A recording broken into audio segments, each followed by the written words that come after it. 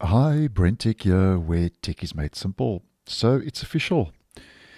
Windows 11 24H2 will be the next major version upgrade and will be released later this year as we were expecting, according to the latest blog post, which um, Microsoft updated with their latest um, Dev and Canary channel builds for this week, and that was build 26052.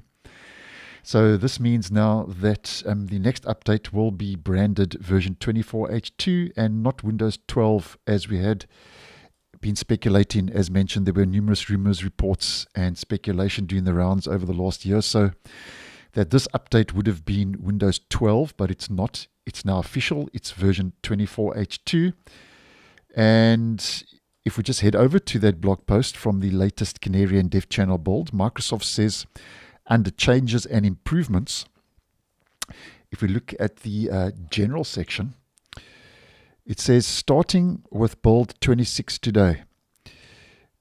Windows insiders in the Canary and Dev channels will see the versioning updated under Settings, System, About, and WinVer to version 24H2. This denotes that Windows 11 version 24H2 will be this year's annual feature update, as mentioned here Windows 11 will have an annual feature update cadence that releases in the second half of the calendar year. So there we go.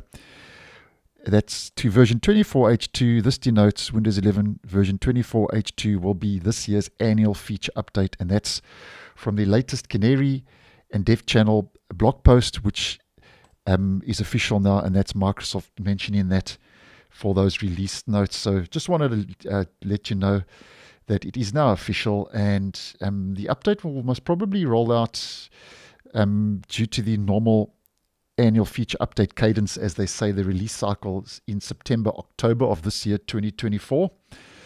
And because that's because Microsoft says that it will be released in the second half of the calendar year. So that's the normal release cycle now, and that'll be termed 24H2.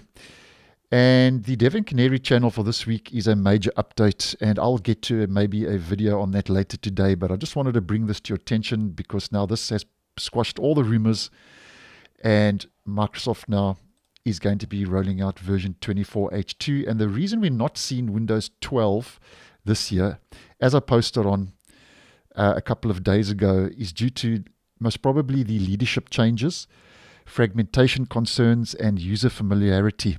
But I posted a whole video on um, there's a good chance we will not see Windows 12 this year, and I'll leave that down below if you would like some more info. And if you want more info regarding both Windows 12 and Windows 24 H2, um, I'll leave two playlists in the end screen of this video. And because we're not seeing Windows 12 this year, I personally don't think Microsoft is finished um, developing Windows 12 as I have been posting, and I think that in 2025 or possibly 2026, uh, we could see Windows 12 roll out officially. And as mentioned, um, the next version upgrade, the next major update, as mentioned, which is now officially Windows 11 24H2, is going to be more focused on AR. And we're going to get one more moment update for Windows 11 23H2 and that's going to roll out at the end of this month, start rolling out at the end of this month, starting the 27th possibly. And that will be the um, first and also the last uh, feature update for Windows 11 23H2. And I'll leave a video I posted on that yesterday down below if you would like some more info. So thanks for watching, and I'll see you in the next one.